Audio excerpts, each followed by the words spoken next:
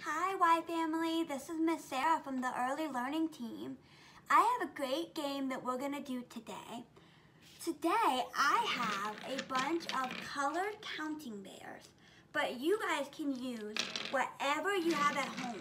You can use coins, you can use uh, any food items, you could use any um, nuts or bolts or buttons, anything you can find around your house.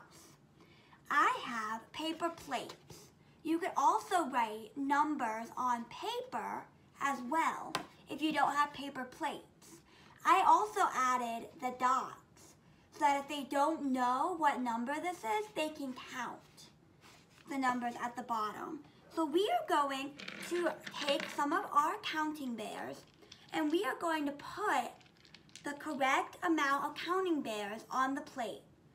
So we're gonna do, I'm gonna do three. One, two, three. I'm gonna try a different number. I know this number, so I'm gonna put one counting bear on my one plate. And I'm gonna put two counting bears on the two plate. And then four counting bears go on my four plate. One, two, three, four. And I have plates all the way up to number 10.